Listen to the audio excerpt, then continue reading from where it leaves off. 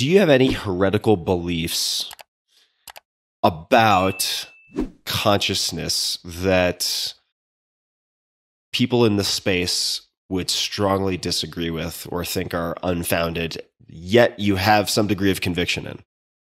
Yes. All right.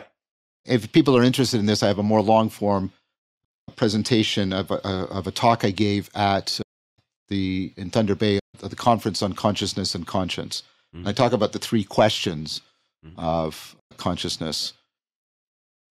And so the first question is the question everybody's really fixated on, which is the nature question, which is how is something that seems so non physical, how does it possibly exist in the otherwise physical universe? And that's the nature question. And of course, you have Chalmers' version of the hard problem and qualia and things like that. And I'll come back to qualia in a second.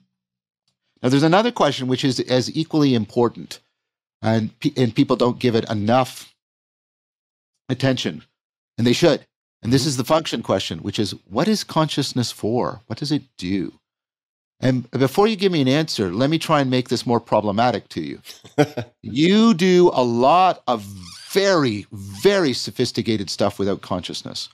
You are taking the noises coming out of my face hole and translating them into ideas in your mind, and you have no idea how that process works. You have no introspective access to it, right? Right. I make noises, you have ideas. What's happening in between? Don't know. Mm-hmm. Right? Yeah. Or think about the, the complex, sophisticated action you can do, how little attention you have to bring to walking, or even, and you've had this, I no doubt, probably highway hypnotism, mm-hmm. where you've been driving and and you realize for the past 50 i haven't been paying attention to the road at all mm-hmm. and yet the, this sort of philosoph- this sort of zombie inside me has been managing me to keep me on the road and it's right and i wouldn't rely on it or anything but you did right so the question is we seem to be able to our unconscious seems to be so powerful what why do we have consciousness what's it do and why do we love it so much yeah right and then the third question is the meta question. What's the relationship between these questions? Mm-hmm. So here's my first heresy. Unlike many people, I think these two questions have to be answered in a completely integrated fashion. I think trying to answer the nature question without answering the function question is doomed to fail. And I think trying to answer the function question without trying to answer the nature question is doomed to fail. So there's the first Vervaekean heresy. And I don't know who's going to be devil's advocate for me. But, anyways, oh no, that'd be the opposite of that'd be the person putting me on trial. so that's the first. Here's the second. The second is we can do this. We can find a way of answering this if we pay attention to a convergence that is occurring about what is the function of consciousness. Mm-hmm. And then I think this gives us a lot of the machinery for explaining a lot of the qualia that are so central to the nature of consciousness.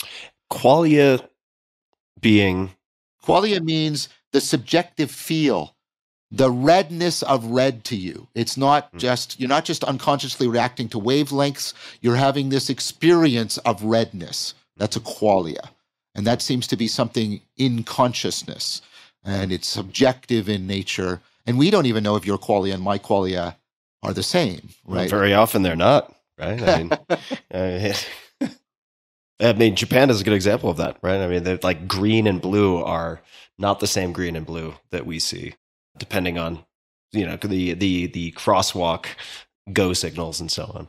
And even a person who's colorblind, right, has yep. different qualia. Or as Thomas Nagel famously argued, bats who use echolocation have qualia that we don't have. Yeah. Right, right. Okay, so that's what that means. And that's the hard problem because there doesn't seem to be any way of explaining their nature.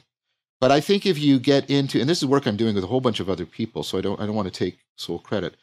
But I think if you make use of functionality and you make use of the four kinds of knowing and things like this, I think you can give an integrated answer. There is a consensus emerging, and I've published on this and talked about this around what consciousness does, what's it for. And then I think once you get that and you open up that functionality, you actually get a phenomenology. You get an you get an explanation of the experience out of that. Mm-hmm. So the converging thing is that what consciousness is for, and it overlaps with attention and working memory and fluid intelligence.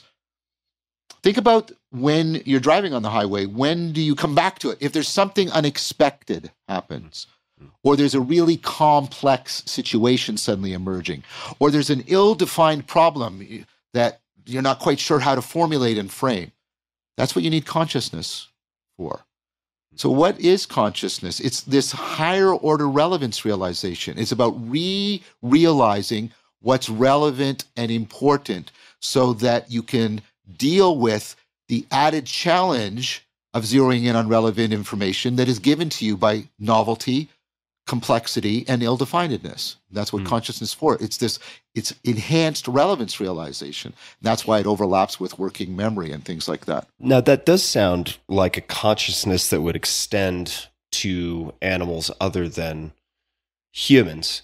Totally. It helps to explain our intuition about this. Mm-hmm. Generally, when people are willing to extend the attribution of consciousness, they actually do it in a way without realizing that tracks how much fluid intelligence do they think that organism has. Hmm. Because fluid intelligence, working memory, attention, all of these things are about relevance realization and enhancing it. Hmm. And so you've got this consensus. Okay. Now let's say we get relevance realization and that consciousness is a higher order version. What about qualia? Well, first of all, let's divide qualia, and this is this is the second Vervaeke heresy. Let's divide qualia into two kinds of qualia. There's the typical qualia that philosophers love to talk about, the adjectival qualia, like blueness and greenness and sweetness. But there are adverbial qualia. There are qualias of here-ness, nowness, togetherness of my experience. I'm here, I'm now, my experience is together. There's a unity and a here now presence, uh, presencing of consciousness, the adverbial. Now, here's the thing.